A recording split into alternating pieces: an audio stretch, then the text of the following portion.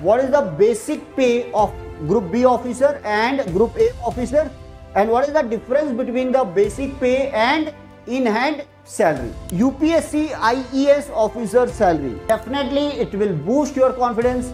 It will motivate you to give what engineering services exam that is conducted by UPSC. Hello everyone, this is Sanjay Rathi.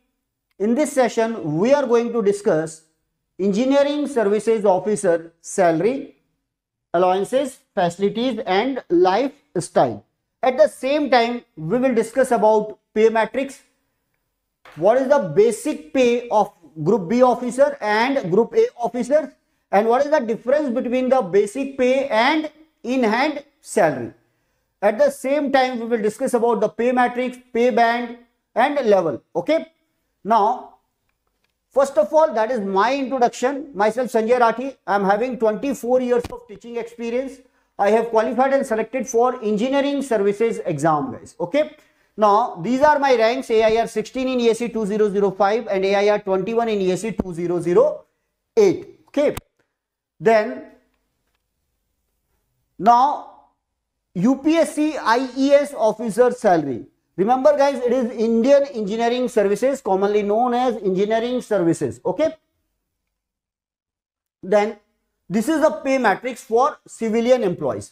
तो यहां दो category है one is what civilian and one is what military तो it is about the civilian employees guys now we will discuss about what group b and group a but here it is a group c group b and what group a officers now this is group b and that is what? Group a officers first of all read this point that is the pay band. Pay band when we are moving horizontally you will get the idea about the pay band guys. This is the pay, first pay band then second then third then fourth fifth sixth and what? Seventh. Now second row grade pay. So grade pay is what? 4200 and this is up to this point guys. Now third is important. That is the level 6 7 8 9 10 and it's up to what? 18th level. Okay. Now what about this? 1 2 3 4 and so on. This is what years. This is the first year of job second year third year fourth year fifth year and so on guys. Now if you enter into the group b post right in first year it is a level 6 grade pay is 4200 and what is your basic salary 35400 okay 35400 and suppose you are giving exam and you enter into level 10 right? That is the first in first year your basic salary will be 56100 guys.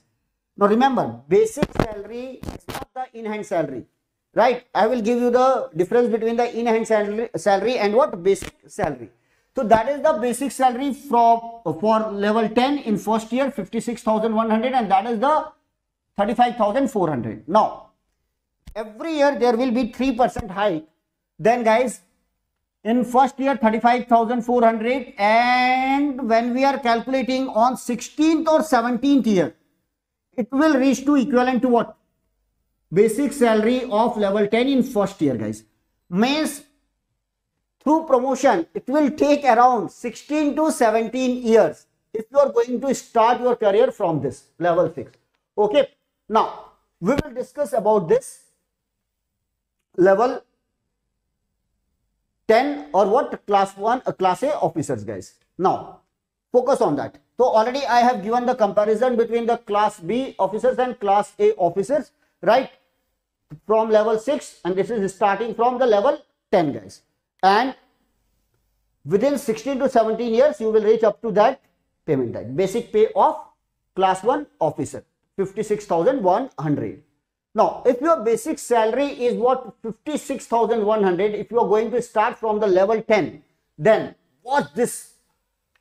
If you are going to start from the 56,100 in first year, that is the level 10, then every year there will be 3% hike, but with the promotion, suppose you are getting the promotion, then with the promotion it will switch from 56,100 to what?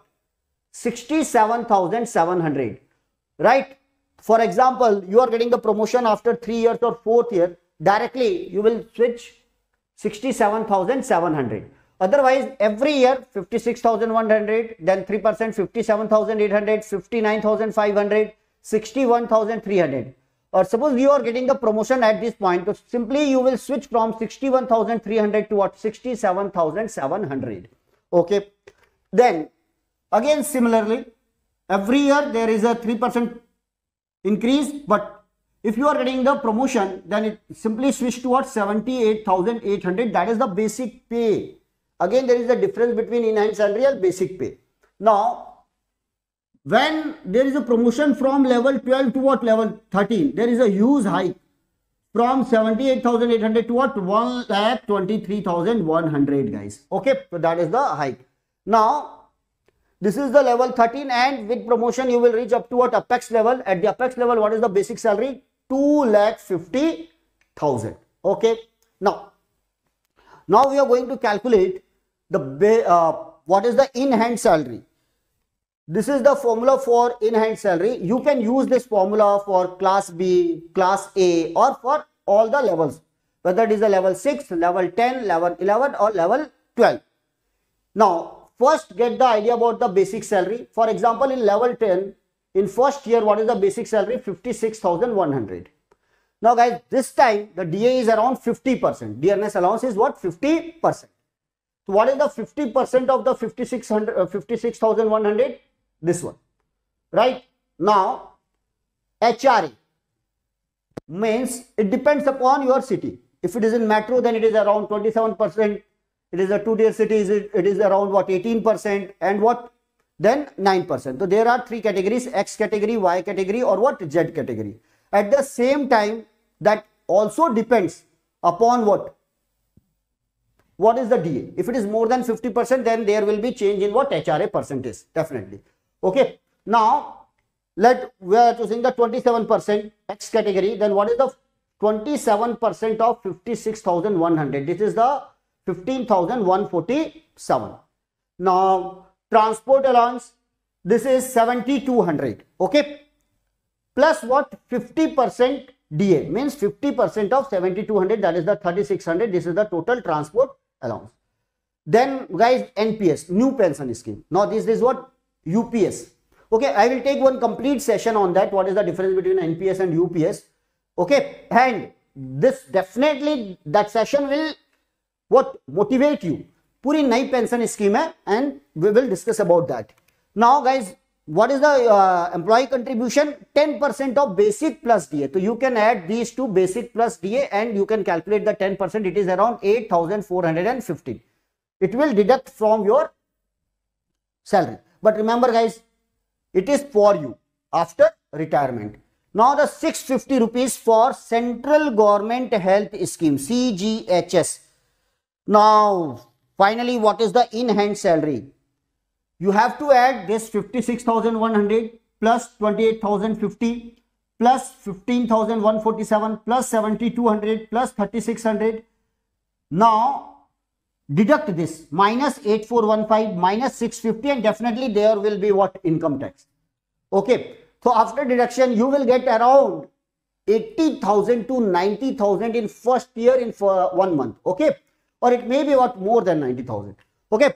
So this is the approximate. Eh, this is called approximate calculation guys. This is a handsome amount in first year. Then after promotion and after every year there will be hike in what basics. This is the 3% or after promotion already I have given. So you can calculate this for what?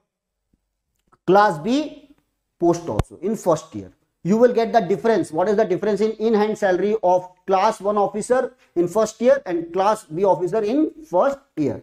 Then, next thing allowances and perks guys. Already I have said you will get the residential quarter or HRA. Then guys dearness allowance, leave travel allowance, LTA that is known as what LTA, official vehicle, gratuity, CGHS medical facility, provident fund, personal assistant, peon, leave in encashment and what? Driver. But it depends upon uh, department or it also depends upon nature of work, whether it is official office work or what field work. But these are the facilities. Now, then departments guys which departments through what engineering services exam. So what is the recent development? IRMS, Indian Railway Management Service for technical post. For example, for electrical, for mechanical, for civil, for signal and telecommunication and stores, right? We have the post for those. IRMS, Indian Railway Management Service, again through what engineering services. Definitely it will boost your confidence. It will motivate you to give what engineering services exam that is conducted by UPSC. And these are the various departments, no doubt guys. In every department you are going to become what class 1 officer. Okay. And the pay band, pay matrix will remain same for you. Then and what is the IES job profile roles and what responsibilities. No doubt, if you are going to get the authority, power, then definitely you have to fulfill some responsibilities also. Then IES officers are generally required to carry out a variety of managerial and technical tasks.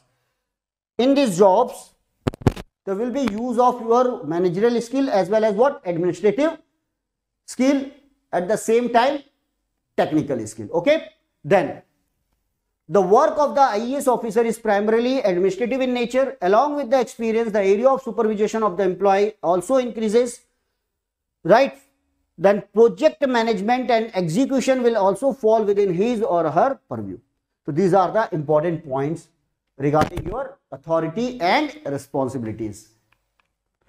Finally, what are the points of where we are comparing the salary with what IAS, IPS, IFS, IRS no doubt these also are what? Class 1 officers. Normally, when we are clearing engineering services, then the job is called what? Technocrats. Or these are called what? Bureaucrats. But remember, pay band will remain same. Again, for them, it will start from what? 56,100. That is the level 10. And it will goes up to what? Level 18. That is the starting salary of uh, IAS, IPS, IFS, IRS, IES. That is the Engineering Services Officer. Don't confuse with what Indian Economic Services. That is the, you know, commonly known as ESE. And all Group A Services Officers are exactly same. The first uh, entry of level 10 of the 7th pay CPC matrix where basic pay is 56,100. Okay. And you can also become what? Joint Secretary. You have eligibility for that guys. Now the basic pay is not the actual salary. Basic pay increases by 3% per year. On promotion, there is a fantastic jump in pay scale. Already I have given from level 10 to level 11, level, level 11 to level 12 and level 12 to level 13. There is a huge hike. Okay. So go through the video. If you have any doubts guys, then please comments. If there is any suggestion, then again write your comments in comments box. Like the session, share the link of this session and subscribe our channel. Thank you.